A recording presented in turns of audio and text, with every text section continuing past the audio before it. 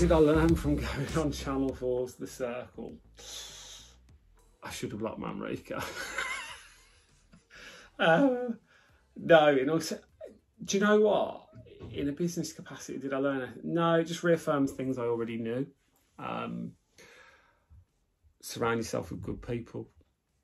In terms of, I'd say the biggest thing I learned from the show in a professional capacity was that you have to switch off every so often. And my reasons for going on the show were probably different to any other person out of the 60 odd thousand people that had applied or been approached.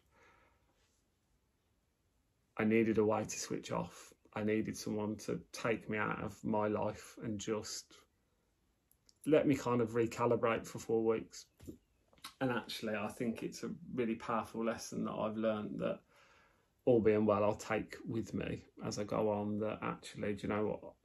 For a few weeks a year, you do just need to switch off because actually the world will keep turning, businesses will keep going, um, and you're not as critical as you might think you are to the success of everything that you're involved in. You can't do it in the long term, but always give yourself that kind of bit of respite. But no, that'd be my biggest learning. That and just laugh, just have a good time because you know what? That to me is what life's all about, and I think that was very much what the circle was about for me.